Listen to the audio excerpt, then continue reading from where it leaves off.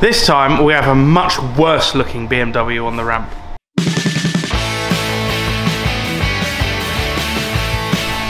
Behold, look, look at some of the finer points of this marble. Beautiful car. Put my finger through there. Nice big dent there. Most of it's missing here.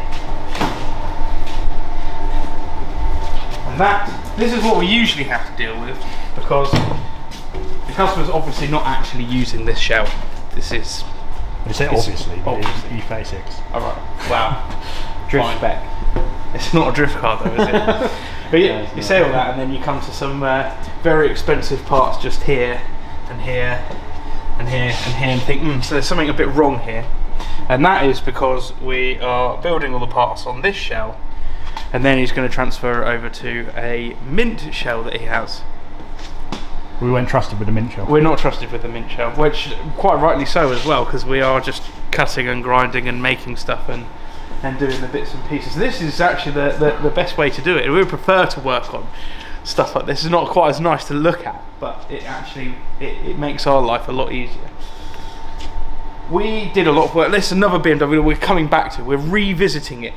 It did come to us uh, a little while ago um, with we, w- the customer wanted us to put a turbo on this M50 engine. The turbo sat right down there.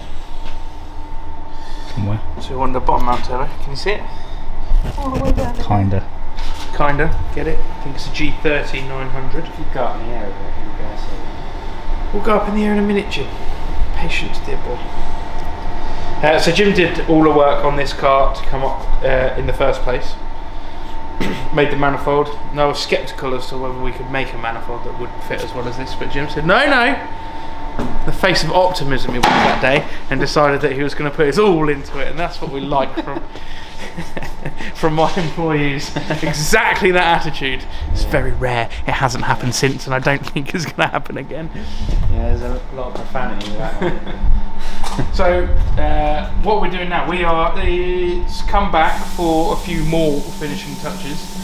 We are going to install that correctly uh, just by putting some brackets underneath so it's held up and not held on purely by these rubbers. And there's just some general tidying up and bits and pieces to do.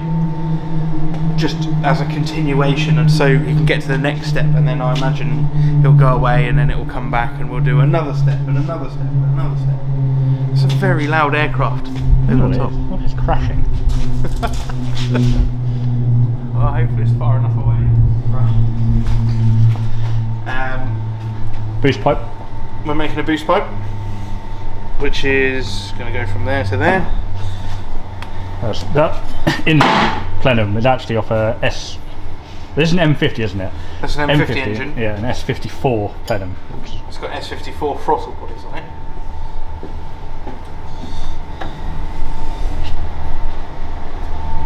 That seems Got like a vacuum thing. lines and all sorts of bits and pieces. Tidying. Lots of tiny, li- lo- those Little brackets annoying tiny little jobs that you do when you're when you're building a car. So we'll film a few of those, a few of the intricacies, the bits that people normally overlook when building a, a vehicle. Are we're going to do some of them whilst the car's here. I'm putting that on there like that. That's what I'm doing. Yeah, to clear the oil cooler, isn't it? Yeah, oil cooler is like here. When it's on the car, you'll see it, but yeah, it's about there. And then, yeah, that will then swoop up into the plenum that's around there somewhere, which we're just finalising positions with the customer, and then I can then build the rest of it. Um, Yeah, then a silicon on here. Yeah. Or, or more, maybe more, and then the, yeah, the short, yeah, short silicon there, and then it's got a um, like a Wiggins style clamp on on the inlet plenum, which is four inch, so it goes from three inch to four inch. Uh, yeah, clean it up, weld that on, stick it on there with some glue. Any downside is it's already a weld there, isn't there? Yeah, there is, but I think you, if you cut any more back, you'd risk putting more swarf and stuff inside, which is um, Very, find it out. very hard to get out. Yeah, it's hard to get out, especially when it's had some sort of spray in there or something. It's, I don't know whether it's it's a bit tacky, which is annoying because it means all the swarf is sticking to it. But you just have to do what you can to stop all swarf getting in there. So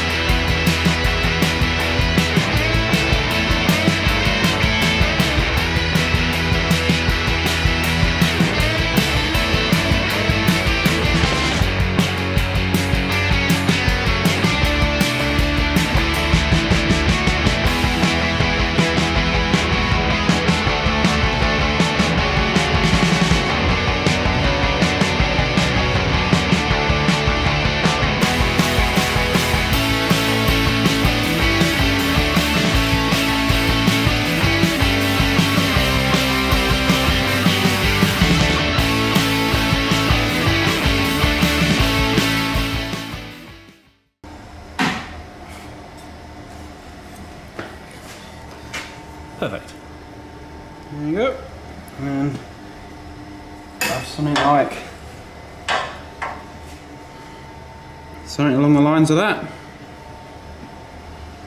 Okay. Now we've got to mount the plenum, which we're just waiting back for some details from the customer and then we can carry on that. So got a couple of other little bits we need to do is um, we need to blank off, we'll go down the car.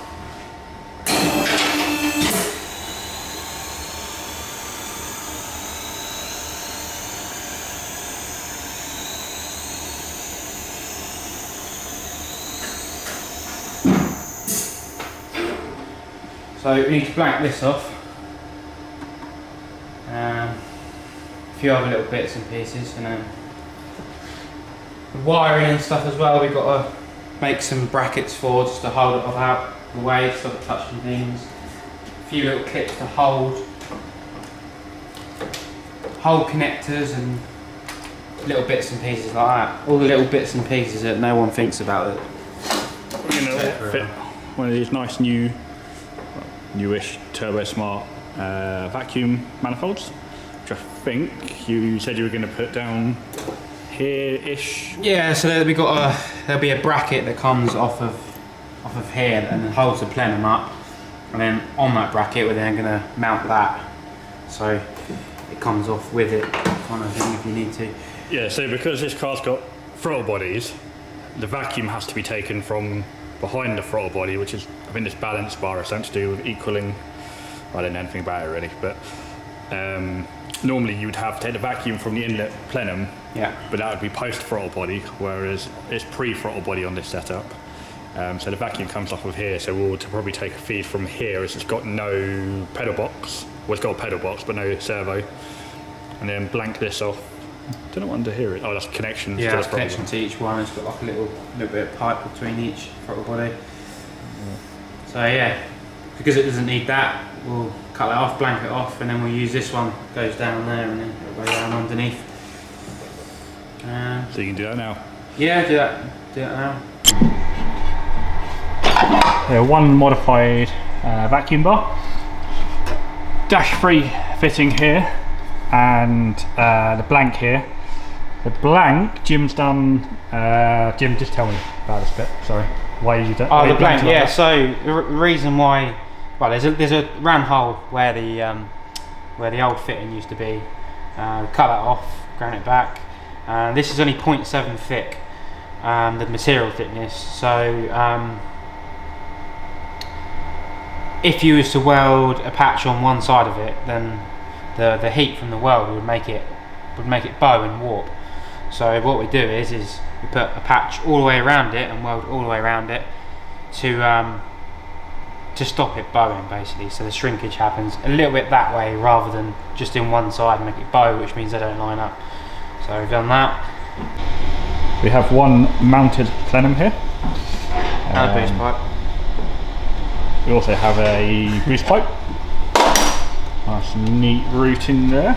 Um, well, that's all we've done actually. We're going to weld it up now, I think, aren't you? Yeah. Oh, blo- blow valve. Where's the blow valve going? Oh, blow off valve. Marked it out already. Lovely cut it out in a Turbo. Smart race port. Be Going there. hopefully.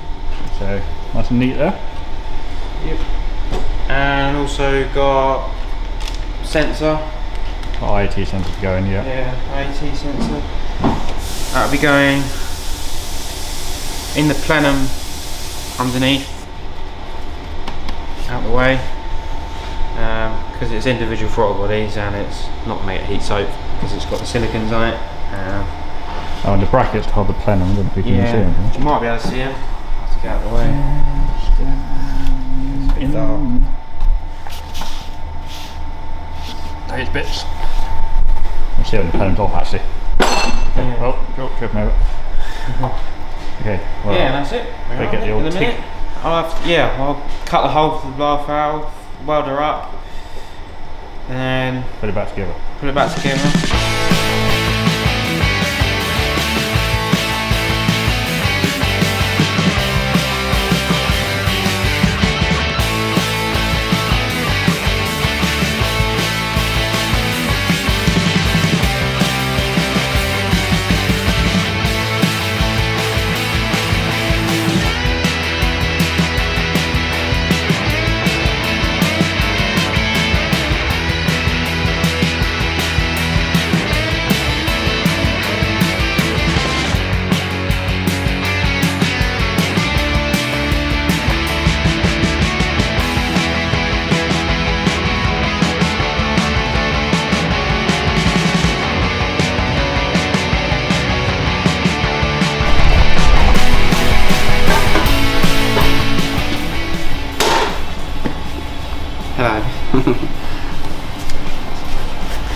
So we're now we've welded that boss on the bottom.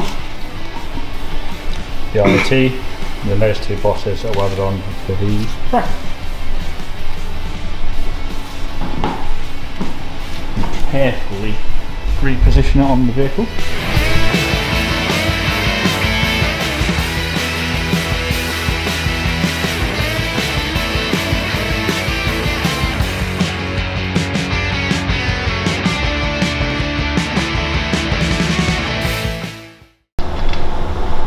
You got your phone on you?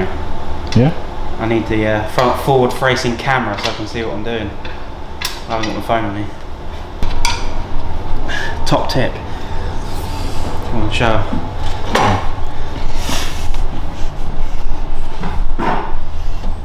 Forward facing camera so you can see see underneath things. I did that in 1920s and used a mirror. Yep. It's just a very expensive mirror. You ready? Young Jim has finished his job on this car. Uh, The plenum is mounted nice and securely, doesn't wiggle at all. We did the boost pipes after that was mounted. We just modified the fuel rail around here. I'm sure all of this is in the video, I'm just summarising it up for you. And it, it looks absolutely fantastic and shiny. I'm sure, as I'm sure you'll agree. And some of the things I like the most bits that you can't even see. Fiddly little bits and pieces like Jim's little bracket he made for the plugs. I'm just going to show you a close up of that, probably about now. And then this little bracket here. This is nice, look. It just clips in and out. Hand fabricated that. Lovely bit of kit. That satisfying clunk. Satisfying click.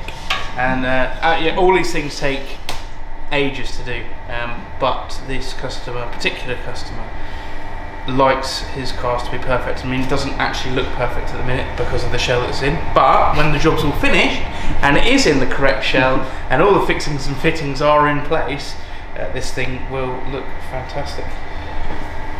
I think we did we did some modifications to this as well, didn't we? So that Yeah, is also that. modified. We've got some dash fittings for the coolant line. Brackets as well. We've got for a casing. This is the one with the actual engine, obviously. This is what welded down there. Nice little extended fitting, which sits behind the oil, the oil filter housing. Which is for the there. housing, yeah. Uh, and that one goes around the back of the Back of the head. head. So there, all fiddly, annoying little jobs, little fabrication jobs that are very difficult to do if you're at home in your garage, But for someone like Jim, who likes messing around with cars and being very finicky and fiddly, when the customer wants exactly what the customer wants, we can do it. Still filming. No burnout. No burnout. There's no burnouts. Just Oh, stand I here and smile. Like, Standing there and smile like the end of the, uh, like the guy that stands for a little bit too long, that keeps the camera on for a little bit too long at the end of the news when Yeah. he's doing like a and he picks his nose. Says something inappropriate. oh, that's not good. Right. Whilst you're still filming the camera, let's have a look. It, this is this is what we did last time I was here. Oh, this. This manifold, it actually wraps around the head here. You can see it's sort of curved like this because there is literally no room in there whatsoever to get a proper manifold in. Emphasis on proper. Yeah, Jim managed to get a proper manifold, the proper collector, a proper merge collector. That is the most important part of making reliable power from a vehicle and having reliable control, obviously, with our uniquely designed wastegate port on our billet collector on this one. As you can imagine, this is going to get very, very hot next to the head. So we thought that. It is about to go to Imeco to have its full heat shielding placed over the top of that, and that should, will, not should, will negate any heat issues that we're going to have with this manifold. Ooh, shining. Have you recovered? Have you recovered from the trauma of making that yet? Wasn't it? Yeah, it's like seven months maybe. Eight Yeah, months? maybe. It was a while ago, yeah. Yeah, that was a um, very hard manifold to make. Tears. Yeah, You had loads of fun doing that. yeah. And this is the downpipe, which is also uh, equally as fun to make with the plumb back as well. That's going to Imeco as well to be coated, I believe so. I think so. Yeah. TBC.